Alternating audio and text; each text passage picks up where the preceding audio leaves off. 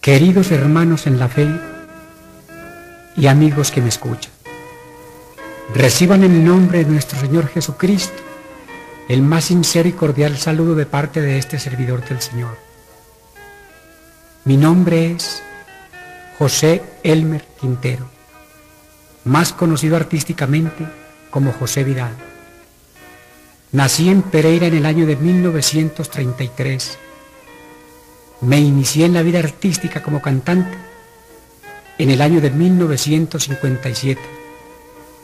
Estuve en muchos países, Sudamérica, todo Centroamérica, Norteamérica, parte del Canadá, Venezuela, Curazao, y radicado en la Ciudad de México durante siete años, rodando sin meta, sin propósitos reales, solo queriendo recibir del mundo honores y aplausos, glorias y satisfacciones que complacieran mi orgullo y vanidad de esta vida efímera y terrenal, y creí tenerlo todo a mis pies. Pero qué equivocado estaba. Y al decir equivocado, es porque no había conocido la divina palabra del Señor.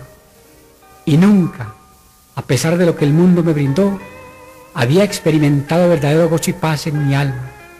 Pero ahora, gloria a Dios, Puedo con toda sinceridad decir que soy realmente feliz. Aleluya. La felicidad y la paz que el dinero no pudo dar, la encontré cuando abrí mi corazón al Señor Jesucristo. Apocalipsis 3, versículo 20 dice, He aquí, yo estoy a la puerta y llamo. Si alguno oye mi voz y abre la puerta, entraré a él, cenaré con él y él conmigo. Y ahora vive en mi corazón llenando mi vida de verdadero gozo, dicha y felicidad. Mi vida estaba llena de pecado y de maldad, sin raíces espirituales. Nombraba a Dios de vez en cuando, pero como un mito, sin fe ni conciencia. Un día viajé a la ciudad de Pereira y por coincidencia dirán algunos, pero yo sé que era la bendita mano de Jesús que me guió hasta el hogar de un viejo amigo que hacía 30 años no nos veíamos. ¡Qué maravillosa sorpresa! Me presentó a su esposa, una creyente hija de Dios. Me habló de Jesucristo y por primera vez en mi vida escuché su gloriosa palabra. Y como Él lo ha prometido en el Evangelio según San Juan, capítulo 7, versículo 37-38 dice, si alguno tiene sed, venga a mí y beba. El que cree en mí, como dice la Escritura, de su interior correrán ríos de agua viva. En ese momento acepté al Señor Jesucristo en mi corazón. Esos ríos de agua viva comenzaron a fluir en mi alma, pues me sentí una nueva criatura. Comencé a mirar diferente la vida. Me sentí cambiado. Tuve paz espiritual y lleno de gozo Prometí al Señor consagrar mi vida a Él y no volver a cantar para el mundo. Gloria a su nombre bendito.